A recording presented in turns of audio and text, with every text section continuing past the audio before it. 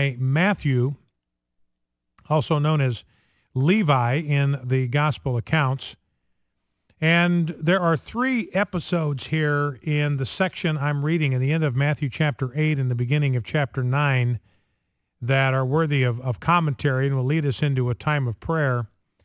The first is the very familiar story of Jesus getting into the boat and they cross the Sea of Galilee. A great storm arises on the sea, which was not atypical for the Sea of Galilee to have these nor'easters sweep down from the mountains to the east and created such waves that the waves were swamping the boat. Literally, it says the, the waves were covering the boat so you couldn't even see it. So this is really a severe storm. Jesus is asleep in the stern of the boat. They go and they say, Save us, Lord, we are perishing.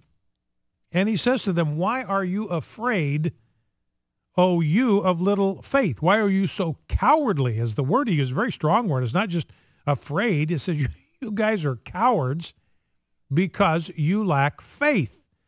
And I think what Jesus is indicating here, remember, remember he said, according to the other gospel accounts, he said to them, let's get in the boat and go over to the other side. That's what he said.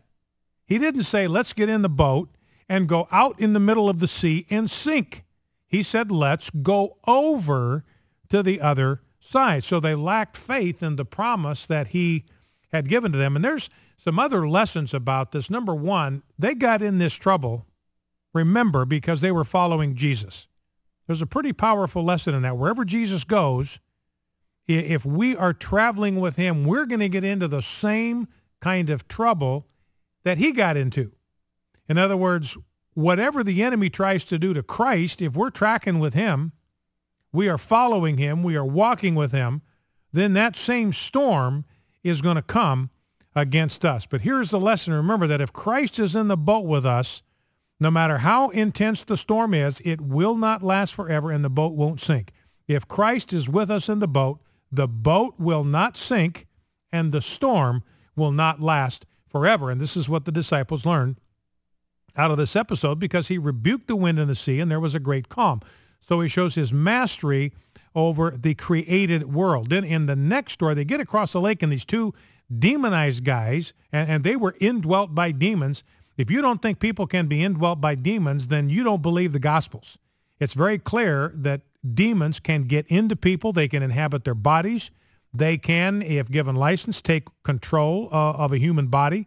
And Jesus accepted that reality. Remember, Jesus said, if it were not so, I would have told you. Uh, so the fact that he dealt with these demons as genuine realities means that he accepted and is allowing us to see that he accepted the reality of demonic, supernatural, evil, dark forces. They were in these two men. Uh, he rebukes them. They have this lo- this lengthy battle. It's clear from some of the other accounts that they didn't come out when Jesus first commanded them to come out. They resisted. And then they negotiated the terms of their surrender. They realized, look, the jig is up. We're going to have to leave these two guys.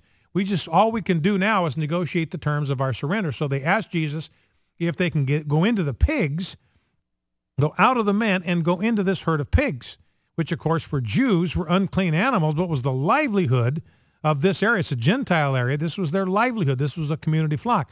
Well, the demons go out, they go into the sheep, they drive them down the steep bank, off the bank, and they drown them all in the Sea of Galilee. And the people were freaked out. They came and they saw what had happened to the demonized guy, and you'd think that they would invite Christ to stay, but instead they begged him to leave, and he did.